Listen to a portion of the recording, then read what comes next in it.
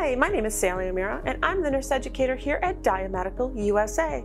Today I'll be highlighting one of our most innovative products, the SimVS Hospital Complete with VentiSim. The SimVS system was founded by Greg Viss, and it's a tablet-based system that can transform any mannequin into a high-fidelity simulator for engaging, interactive learning experiences. The SimVS system includes a patient monitor, defibrillator, ventilator, and Vita monitor, as well as a nurse call system. Now we're going to show three different simulation scenarios with students and an instructor using the SimVS system. Greg Viss will be acting as the simulation tech to adjust the patient parameters in response to the student's interventions.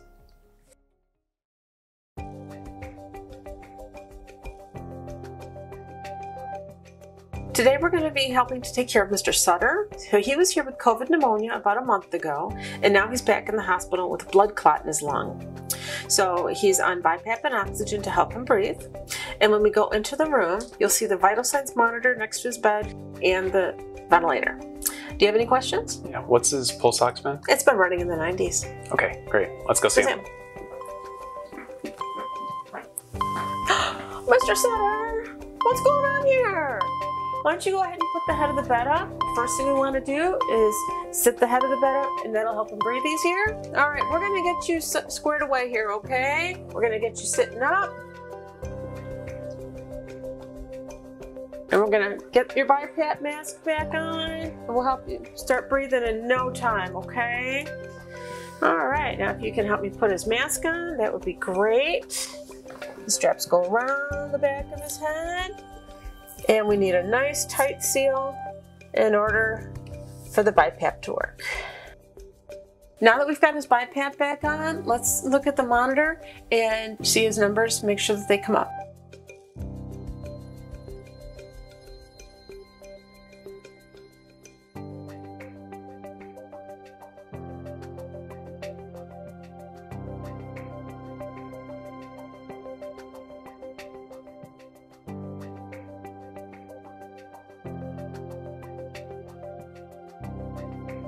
So now you two are going to be caring for Mr. Berg. He had spinal surgery earlier today and he was admitted to the surgical floor just a few hours ago. So he's been complaining of severe pain ever since he woke up from anesthesia.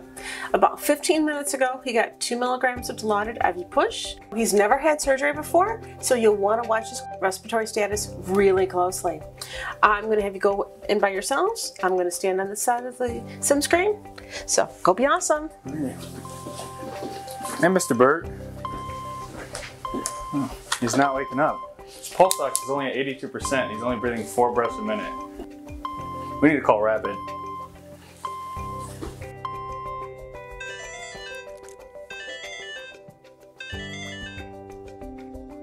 What's going on? Oh, pulse ox is only 82. Respirations of four. Uh, you go ahead and breathe for him with the BVM, and let's give him one milligram of Narcan. Okay. And you want to give nice, slow, steady breaths.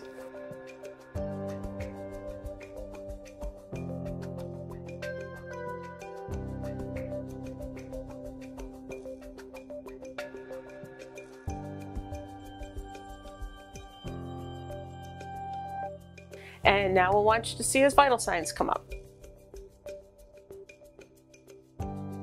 That's great. Let's go tell his nurse what happened.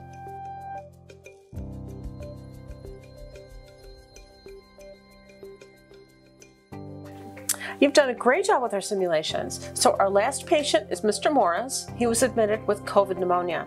So he was just intubated after BiPAP wasn't enough to keep his oxygen levels up. So his ventilator is set to 550 ml tidal volume, PEEP of 8, respiratory rate 18, and 70% FiO2.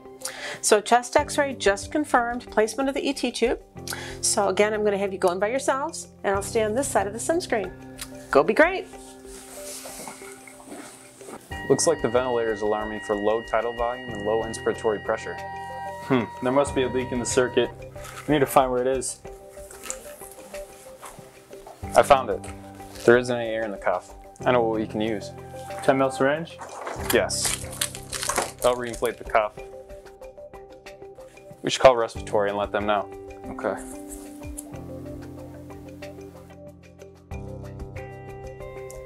Medical's mission is simple to improve the quality of healthcare by providing innovative tools like SimVS to educate the next generation of medical professionals.